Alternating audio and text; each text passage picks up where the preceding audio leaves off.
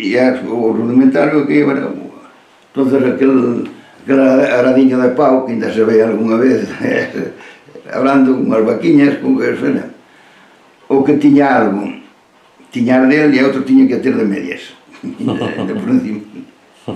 Era unha vida pero a vida a, a xente estaba alegre estaba, o sea que incluso familiarmente a xente estaba máis máis unida que se está ahora porque ou os adelantos e todo eso son moi bons e moi bonito. Agora para a Unión non, porque antes un diver, antes non, tiña, non había carreteras, non había nada.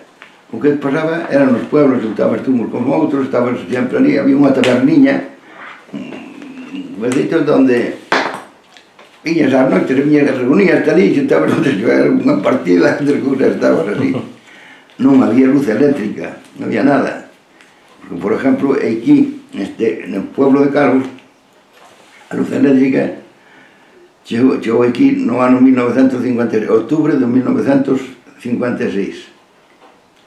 E esa parroquia de ali, por exemplo, a parroquia de Santa Mariña, foi no, no ano 60.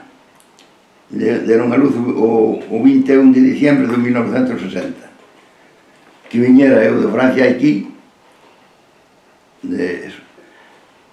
Eh, Cando eran pequenos, eh, había escola ali en... Sí. sí. E, e, e cantos rapaces ían máis ou menos? E, a fazer un cálculo agora así, éramos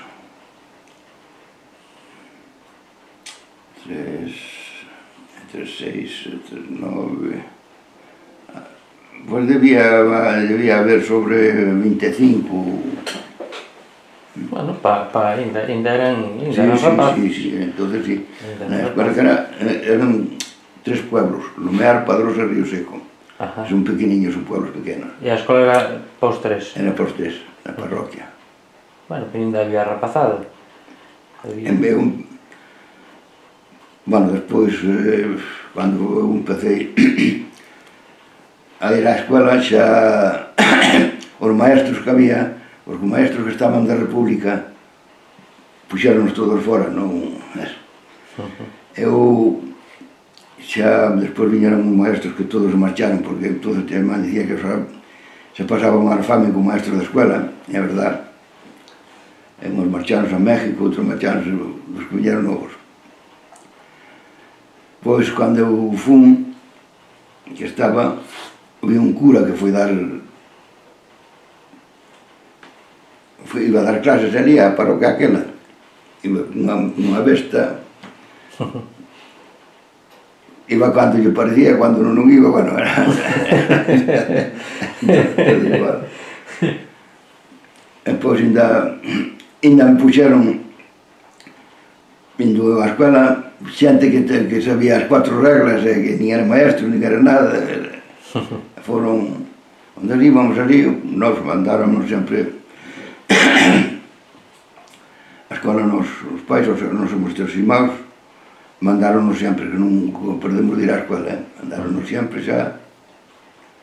Eu, despois, o último maestro que tuve, que eu digo, despois marchouse, marchouse para México, porque non, aquel era bueno, como meus pais, coño, mandai o rapaz a estudiar, mandar, non, mandar non, non se podía. Claro, había que axudar, non? Eh, eh, é, é de dicir, buenos días, viva Franco.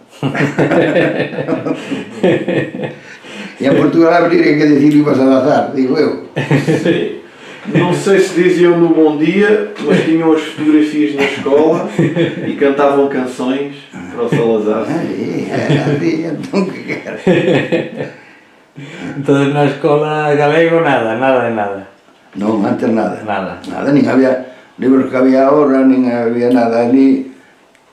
Antes eu o, o con as tiñas era En religión tiñas a, a, a, a cartilla que foi restituída por Padre Stete, que eso vinha sobre de memoria. Eu ainda sei hoxe, se teño vou fazer 84 anos. E ainda sei, ainda sei. eh, ahora, do resto, o sea, tuvemos unha enciclopedia universal, compraron, outro non podían, o, o, Quijote, o Quijote e un libro que se chamaba Corazón, era o que había. Ahora que ese libro, ou por exemplo, esa historia universal que se chamaba, tiña de todo. Eh, e antes o que estuvo, sabías, sabías algo tú, e agora levas unhas asignaturas, eh, eu me vexo a estudiar, a xente está moito máis preparada, moito, moito, moito máis, e ten que se estar ainda máis, e bueno, todo eso.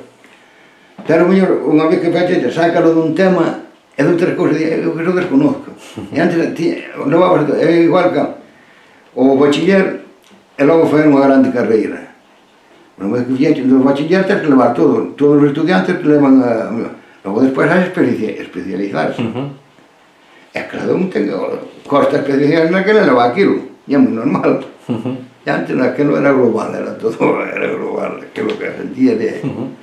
bueno, en certo, en certo sentido tamén era bon, porque igual hoxe eh, estudense con máis pero non se ve a relación dunhas cousas cas outras. Non, eh, non? Separouse porque se separou por... era normal, antes non era todo... Sí, pois pues, todo... igual en certa medida había que volver ao sistema. No, eu, geografía e historia que era o que, eh, era o que eu, Martiñas, era o meu forte. Era o que lle eh, gustaba. Moito, moito, sempre, moito, moito. Eh, e agora pois non, agora, o bachiller, o bachiller, quen falaba de bachiller entonces, ni, ni, ni nada.